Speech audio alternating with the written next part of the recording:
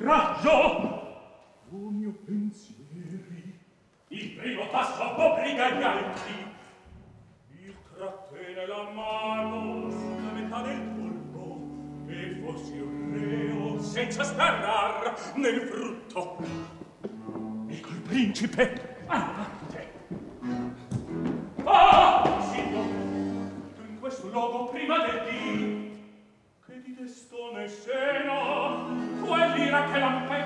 mezzo il pianto.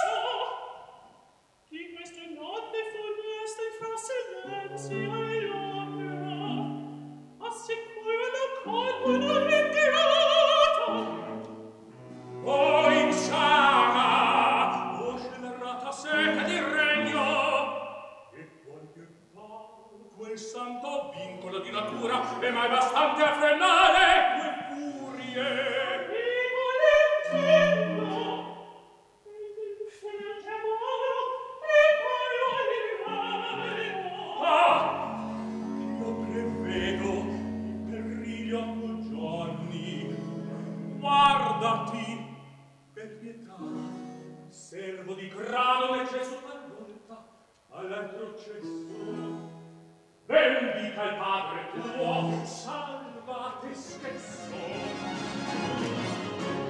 No, non disse figlio, no, non disse padre, no,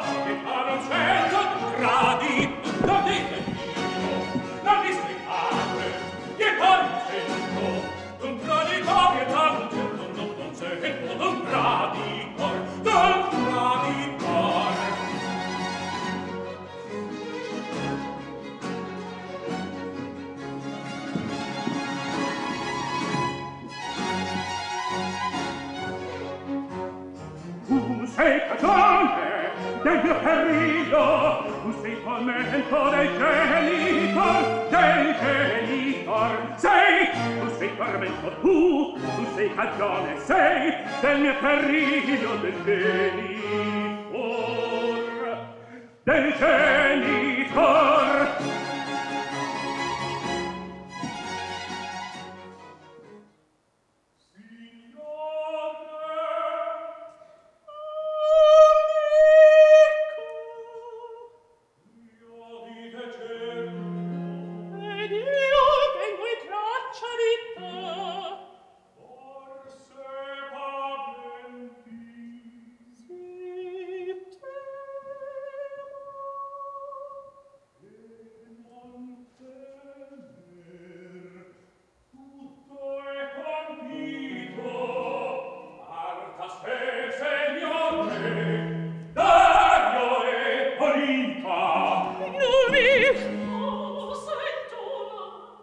Maricida offerse, incauta il petto alle ferite. O Iddio!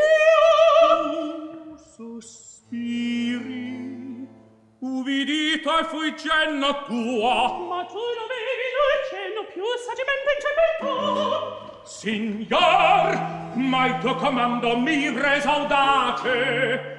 Tu sei l'autoprimiero, tu sei di questa colpa.